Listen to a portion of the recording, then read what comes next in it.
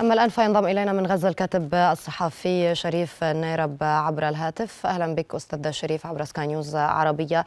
انقل لنا صورة الوضع الميداني والإنساني بعد كل هذا التصعيد وبعد مرور أسابيع على هذه الحرب بين حركة حماس وإسرائيل. يعني عمليا ما تزال طواقم الدفاع المدني تقوم بانتشال الضحايا والمصابين. إثر الغارات الإسرائيلية التي تواصلت مساء الليلة على مناطق متعددة في قطاع غزة بالتحديد في شمال القطاع في منطقة جباليا وكذلك في النصيرات في المنطقة الوسطى وخان يونس وكذلك في رفح بالادوات البدائية في ظل انعدام القدرة على استيعاب هذا الحجم المهول من الاستهداف لمناطق متعددة متواصلة في قطاع غزة. وكذلك أيضا سيارات الإسعاف تحاول قدر الإمكان الوصول رغم كل ال يعني ال ال ال التواجد العسكري الإسرائيلي ومنع الوصول في الوصول إلى الضحايا وكذلك أيضا إلى المصابين في المناطق المستهدفة. عمليا قطاع غزة يعيش هذه الأيام في أسوأ الظروف والحالات الإنسانية على مستوى عدم القدرة في التعامل مع مثل هذه الاستهدافات المتواصلة وهذا الحجم المهول من الإصابات وكذلك الضحايا وعمليا أيضا هناك صعوبة في دفن الضحايا الذين قضوا اثر هذه الاستهدافات في خلال الأيام الماضية بسبب تمركز الآليات الإسرائيلية في محاور متعددة في قطاع غزة وبالتحديد في مدينة غزة منطقة العمليات وكذلك شمال القطاع. هذا بالإضافة إلى تردي الحالة الإنسانية على مستويات مختلفة وفي قطاعات أيضا مختلفة لأنه بتحكي في اليوم السادس أو السابع والأربعين لهذه العملية نفذت كميات كبيرة من الاحتياجات الإنسانية خاصة على مستوى المونة. بمعنى إنه كل المولات الآن والسوبر ماركتات والمحلات الصغيرة لم يعد فيها القدر الكافي لسد هذا العجز الكبير في الاحتياجات الإنسانية في المأكل على وجه الخصوص، تحكي إنه الملح أصبح في قطاع غزة غير متوفر، خميرة الخبز لم لم تعد متوفرة، آه كذلك البقوليات والمعلبات، كل ما يمكن الآن تقديمه أو أو الاستعانة فيه ما تقدمه وكالة الغوث وتشغيل اللاجئين خاصة لمراكز الإيواء التابعة للأنروا. في المدارس المنتشرة في القطاع بمعنى إنه يعني شيئا فشيئا ربما نعم. تكون هناك مجاعة حقيقية في قطاع غزة على مستوى المأكل والمشرب لأنه نعم. حتى المياه المياه الصالحة للشرب لم تعد موجودة والمياه الغير صالحة أصلا لم تعد موجودة هناك تنقل عبر الكرات التي تجرها الدواب أو الحمير على وجه الخصوص نعم. عفوا نعم. على هذا تجرها الدواب يعني يتم فيها عملية نقل المياه من المحطات القادرة بالحد الأدنى على التشغيل أستاذ شريف وتوصيلها إلى البيوت وإلى المنازل بالشكل البدائي الغير معهود في قطاع غزة. على مستوى حركة النزوح إلى جنوب القطاع يحكى أنه هناك أكثر من ثلثي سكان شمال القطاع نزحوا إلى جنوبه، هل هناك يعني أي حصيلة محدثة؟ هل هناك أي أرقام دقيقة لهؤلاء؟ يعني كيف تراقب وضع حركة النزوح؟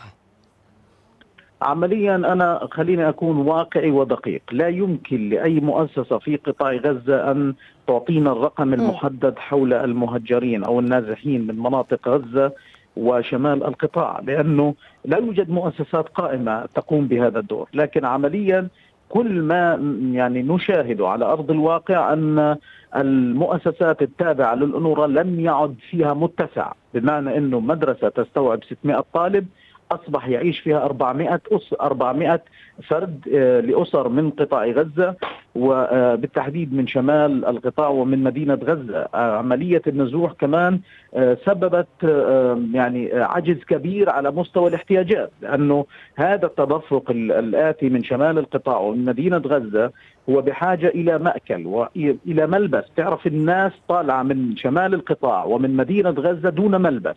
وبالتالي الآن دخلنا في فصل الشتاء. هناك عجز كبير على سد احتياجات الملبس اللازم لقطاع غزة ونحن نعرف إنه بيئة قطاع غزة في فصل الشتاء تكون باردة جدا أو قارصة بالحد الأعلى يعني. وبالتالي هناك عجز حتى في الأسواق التي تبيع مثل هذه الملابس أو المحلات الصغيرة أو الأسواق الشعبية. وبالأمس كان هناك مناشدات من المدارس للناس السكان رفح وخان يونس والمنطقة الوسطى اللي هي جنوب الوادي التي سميت وفق التصريحات الإسرائيلية بالمناطق الآمنة. لا يوجد في هذه الأسواق ما يسد احتياجات ملابس الناس ولا يوجد فيها ما يسد أيضا احتياجات المأكل والمشرب واواني الطهي وحتى الخشب. الحطب الذي الآن أصبح يستخدم على مستوى آه، يعني الخبز والطبيخ وكل هذه الأشياء التي أصبحت بالشكل البدائي لم تعد متوفرة يعني لك أن تتخيلي أن هناك ناس الآن أصبح ضمن برنامجهم اليومي ليس فقط تعبئة المياه والحصول عليه هو البحث في الطرقات وفي الشوارع وفي المزارع القريبة وأينما كانوا على الأعشاب آه، وعلى الحطب وعلى الخشب وعلى كل الأشياء التي نعم. بالاستطاع إيقاد النار فيها من أجل يعني تأمين مأكل للاطفال والصغار وكذلك التدفئه وكل هذه الشغلات. تفاصيل صغيرة لكنها في حقيقة الأمر مؤلمة وقاسية، لك أن تتخيلي برنامج المواطن في قطاع غزة، صباحا يستفيق المواطن للبحث عن الماء. أو احتياجات الماء تعبئة جالون أو اثنين أستاذ أو شريف يعني واضح يعني كل هذه المستلزمات الضرورية لسكان القطاع هم محرومون منها.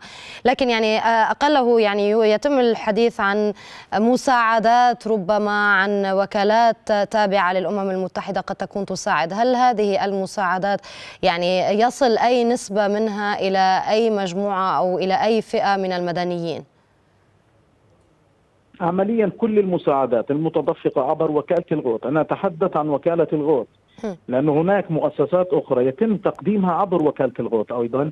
يتم توزيعها فقط للنازحين المقيمين في في المدارس التابعة وفي المراكز التابعة لوكالة غوث وتشغيل اللاجئين.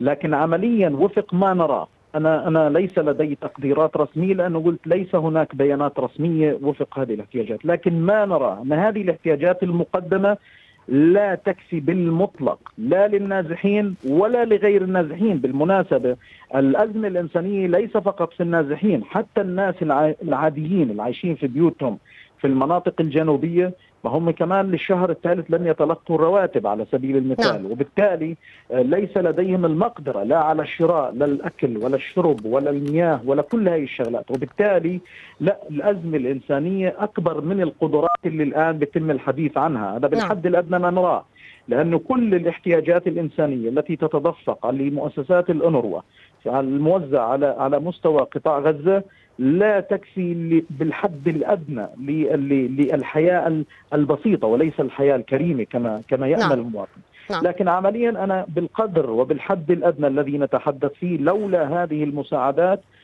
كان ربما قطاع غزة كان في مجاعة قبل أسابيع من هذه الأيام لأنه عمليا قطاع غزة اصطبح في السابع من أكتوبر اصطبح على حرب لم يكن أصلا الناس مجهزين لمثل هذه المعارك أو لمثل هذه الأحداث ولمثل هذه المجريات، كان الناس نعم. تتعامل بالوضع الطبيعي إنه الأمر كان فيه هدوء وكان لم يكن هناك أي من المؤشرات، فلم واضح. يكن بيت في قطاع غزة مجهز بالحد الأدنى لأسبوع ما يكفيه من الموت. شكرا جزيلا لك من غزة الكاتب الصحفي شريف النيرب.